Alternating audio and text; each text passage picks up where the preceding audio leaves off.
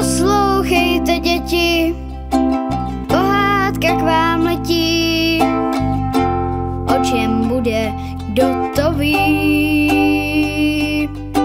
Potkáte v ní zajíčka, který nosí vajíčka, ale teď už Lenka vypráví. Jak Eda Ouško zabloudil. Eda Ouško je šikovný zajíc, žádný nekňuba. Dovede se postavit ke každé práci. O velikonocích dokonce pomáhal nemocnému tatínkovi s kraslicemi. Dojel ke slepicím pro vajíčka, s kamarády je nabarvil a potom je v nůši roznášel dětem jako opravdový velikonoční zajíček. Nejraději ze všeho se stará o sestřičku Julču a o malého chloupka. Maminka mu jeho malé sourozence ráda svěří. Ví, že se o ně postará. Vymýšlí pro ně veselé hry a to je panečko zábava. Maminka a tatínek Ouškovi jsou pišní, že mají tak chytrého a šikovného syna. Poslechni, Edo, řekla jednoho dne maminka zaječice. Došel bys za dědečkem a za babičkou? Děda má dneska svátek. Připravila se mu nějaké dobroty. To ví, že tam zajdu, zaradoval se zajíček Eda. Už jsem babičku s dědou pěkně dlouho neviděl. Ale musíš jít přes les, varovala její maminka. Nezabloudíš? Proč bych měl zabloudit, dordil se Eda. Už přece nejsem žádné malé dítě, brzy budu chodit do školy.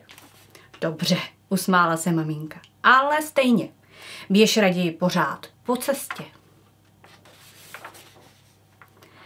Eda si vzal na záda nuši plnou zaječích dobrot a vyrazil.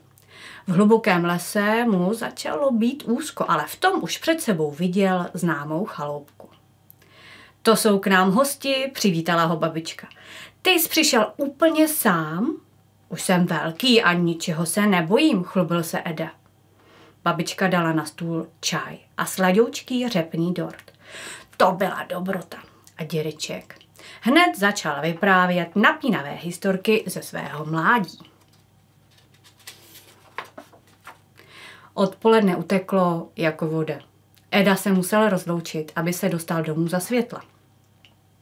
Vyřiď pozdravení a že pěkně děkujeme, řekla babička a dala Edovi do nůše knížku.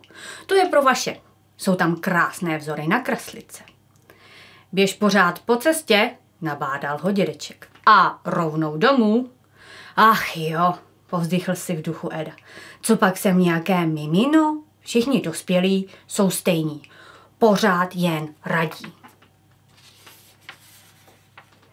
Zajíček si vykračuje k domovu a modruje. Po cestě. Pořád jen po cestě. Už mě to nebaví. Proč bych to nemohl vzít oklikou přes zahrady? Dostal jsem chuť na křehoučký salátek. Eda se šel z cesty a brzy dorazil k zahradě. Protáhl se mezerou mezi plaňkami a šup na záhonce salátem. Zakousl se do prvního listu, ale v tom se za ním ozval nějaký šramot. Co to je?